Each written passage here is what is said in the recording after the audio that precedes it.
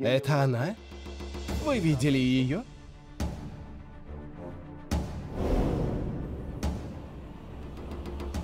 Да. Я видел ее.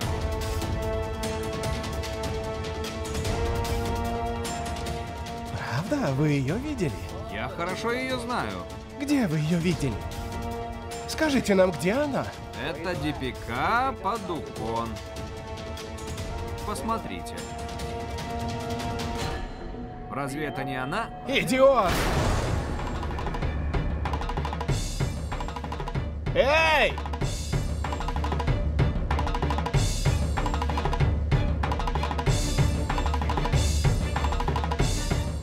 Как ты посмел поднять руку на моего друга?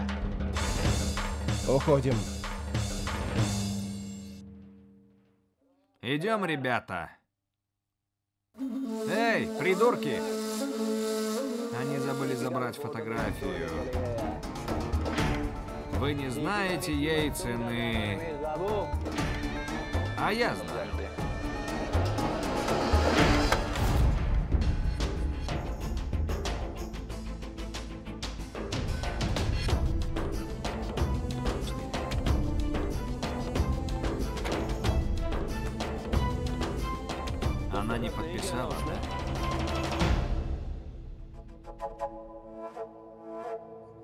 Можешь жениться на ней? Это неправильно. Ты ведь знаешь, что она... Она права, ты это хочешь сказать? И... Из-за ее молчания моя честь, моя судьба под угрозой. Моих солдат подвергают допросам. А ты видишь только ее страдания. А ты хоть знаешь, что чувствуют вдовы тех солдат из-за ее молчания? Ты считаешь, что женитьба на ней поможет ходу У дела? меня нет выбора. Если она не уступит, я женюсь на ней. Женюсь! Я мечтал увидеть твою свадьбу, но не такую. Совсем не такую. Не такую, сынок. Нельзя заставлять беззащитную девушку давить на нее. Нельзя, сынок. Рудра. К отношениям не принуждают, их создают. Такая женитьба может закончиться. И что? К чему все это? Ты хочешь привести в пример свою женитьбу? Нет, верно? Ну и не учи меня, что такое брак. Не учи меня.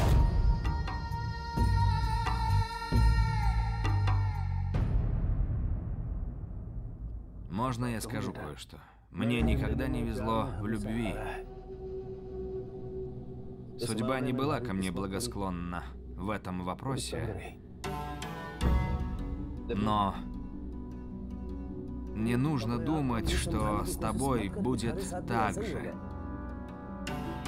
Я инвалид. Ты здоров. Пойми, у Господа особый план на каждого человека. Возможно, к тебе он будет благосклоннее. Возможно, твоя судьба не станет такой, как моя.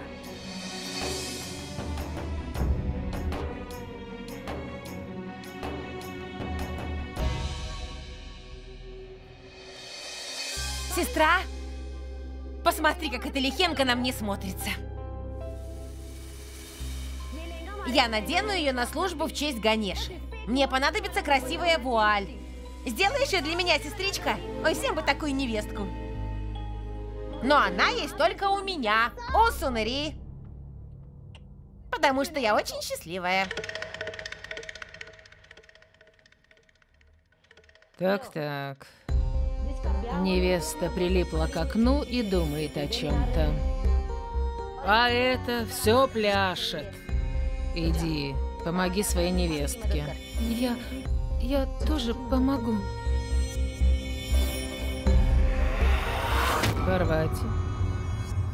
Это твое настоящее имя? Или есть другое? Я должна спросить. Я запуталась, не понимаю, где правда, где ложь.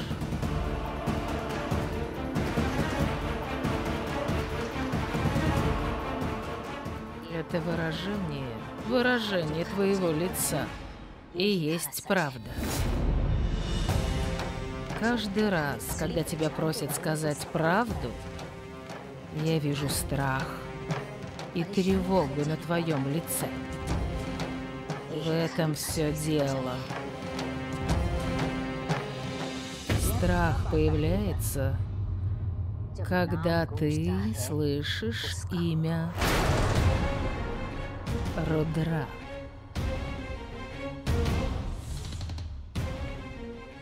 Хочешь стать от него свободной?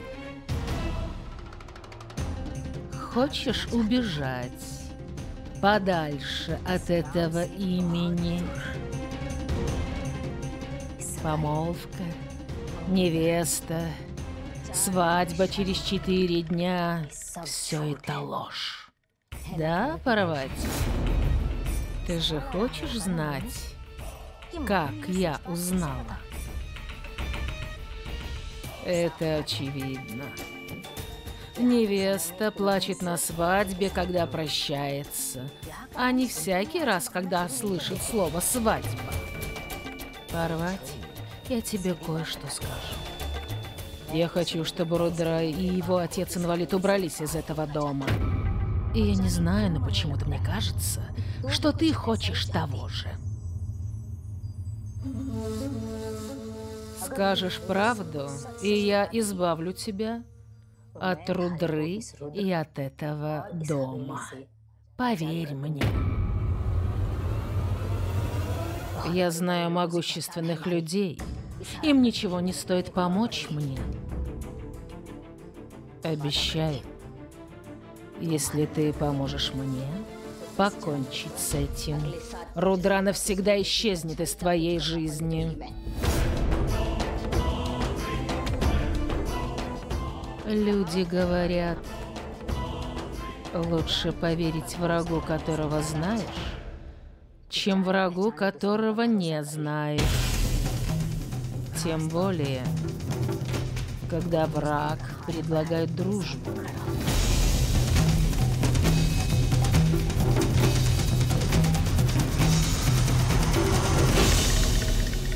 Даю тебе времени до завтрашнего утра. Приходи ко мне до того, как рассветет. Скажи мне правду. Дай мне помочь тебе и себе.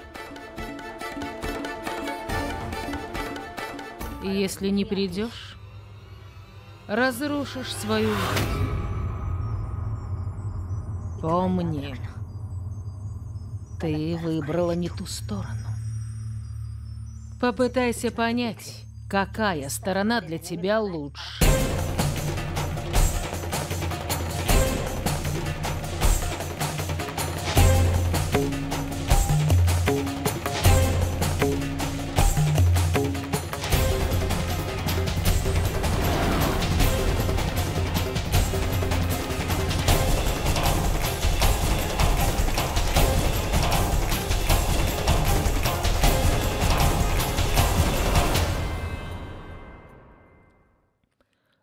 Ты идешь, Рудра? Ты теперь жених? Возьми отпуск. Оставайся дома. Я хотела спросить тебя, что приготовить? Раздумываю, что приготовить на обед. В преддверии свадьбы принято готовить те блюда, которые любит жених. Правда? Вот это называется идеальная пара. Не успела начать разговор с женихом, тут же появилась невеста.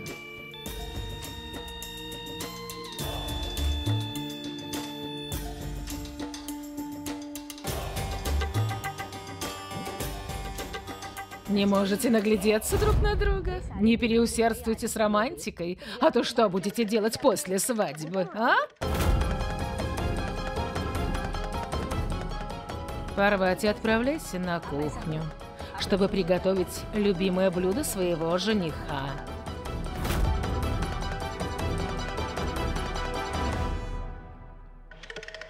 Что такое, Рудра? Думаешь, от чего я так интересуюсь твоей свадьбой? Это естественно.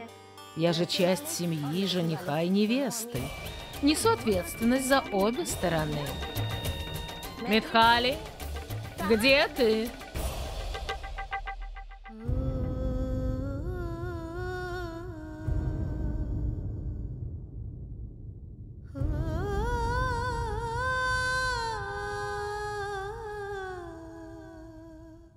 Можешь пожертвовать жизнью.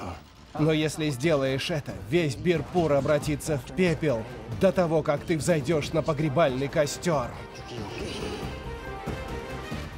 Если подпишешь, свадьбы не будет, обещаю. Но если нет, я женюсь на тебе, никто меня не остановит. Ты знаешь, я не бросаю слов на ветер. Не бросаю. Скажешь мне правду, и я освобожу тебя от рудры и этого дома.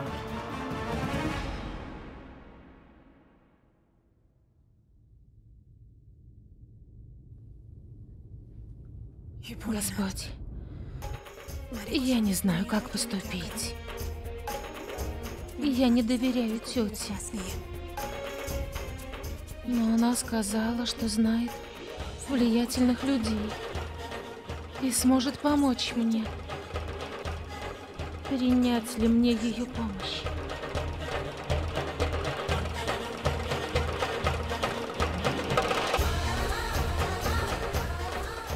Помоги мне, Господь.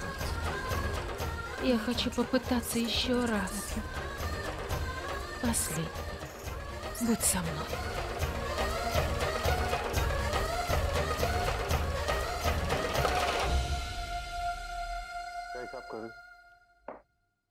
Ничего, просто матушка организовывает свадьбу, свадьбу Парвати и Рудры. Я составляю список гостей и всего необходимого. Я занялась этим. Парвати нервничает, она немного напугана перед свадьбой. И что? Ты теперь будешь ее поддерживать, станешь больше времени проводить с ней, чтобы поддержать. Откроешь ей все секреты, ты так будешь делать? Нет. Я скажу ей, что только... Только до свадьбы люди друг другу чужие. Но после нее все становится хорошо. Я... Я что, не права?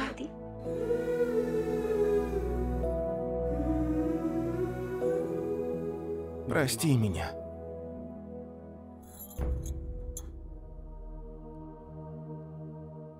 Я знаю, что был груб с тобой эти дни. С момента, как начался разговор о ребенке, одни неприятности случаются. Я очень растерян. Не стоит переживать. Господь поможет нам все уладить.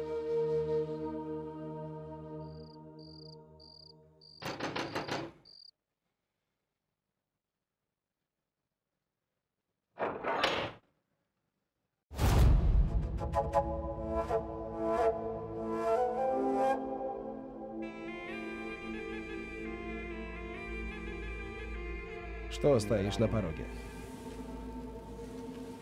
Заходи.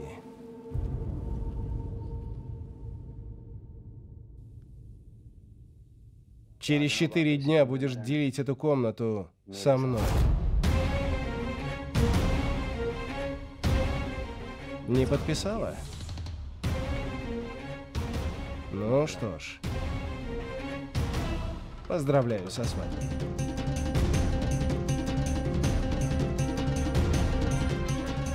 Рудра Пратап Ранаве.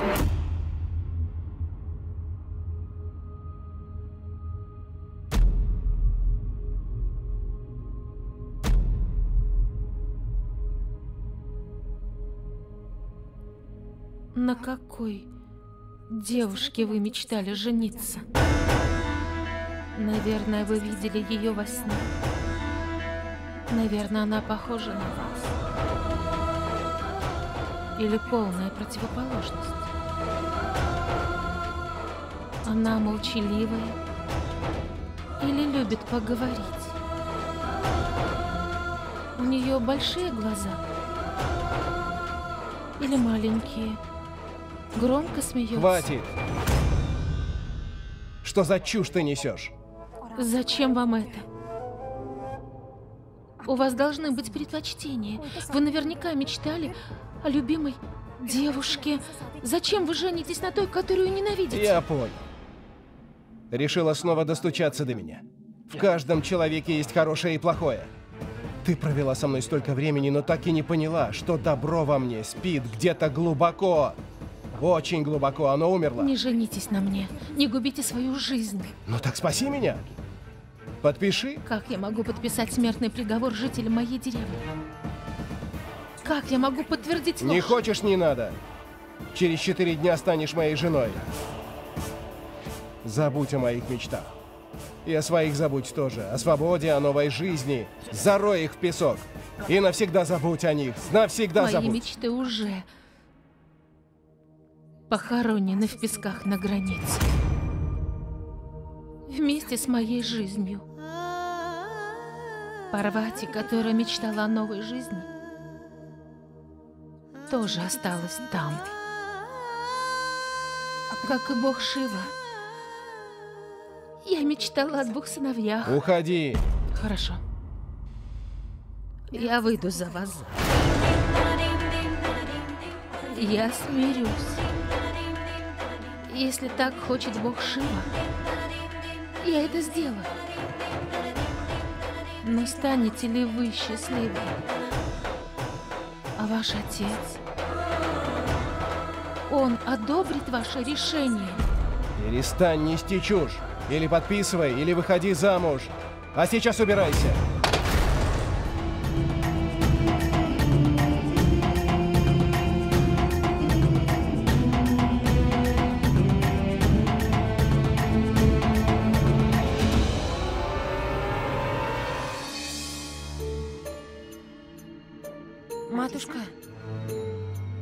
Составила список всего необходимого для свадьбы. Остался список гостей. Я закончу его сегодня. Хорошо, Парвати, заходи, заходи.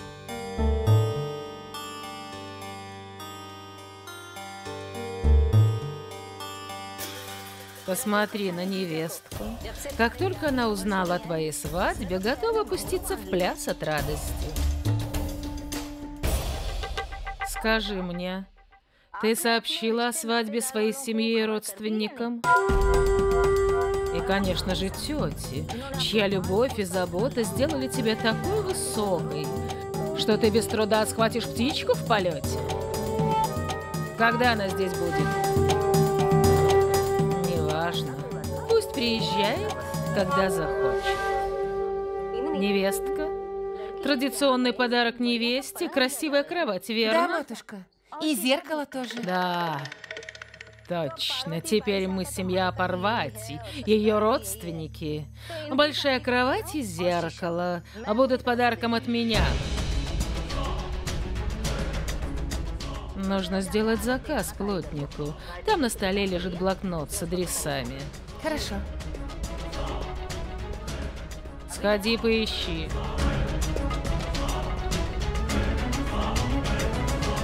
Парвати.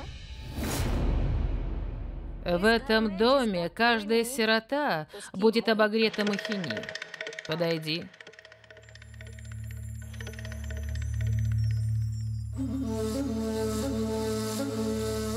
Что ты решила? До рассвета еще есть время. Как думаешь, какой подарок принесет тебе восход? Свободу? Или новое несчастье? Ответ нетрудный, правда, девочка? Не так ли?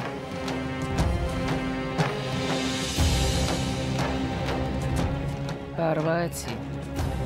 Конечно, молчать, когда говорит старший, признак хорошего воспитания. Но если молчать все время, несчастье не избежать. Имей в виду, скажешь правду, будешь спасена. Итак, Скажи прямо сейчас, кого ты выбрала, меня или его? Матушка, я нашла номер плотника. Мне позвонить ему? Невестка, ты никогда не говорила мне, что плотник твой дядя, и он готов принимать заказы даже ночью. Я... Иди в свою комнату и ложись спать. Сделаешь заказ завтра.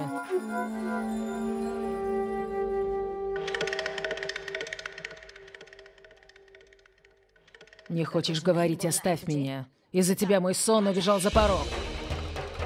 Не стой в дверях, не мешай ему вернуться.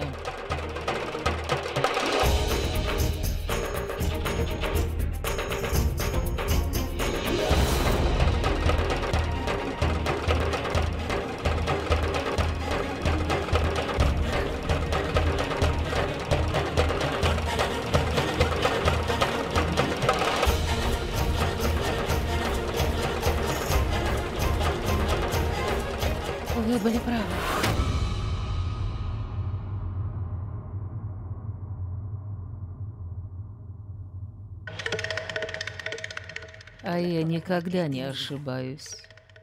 Говори. Я не хочу выходить за него замуж.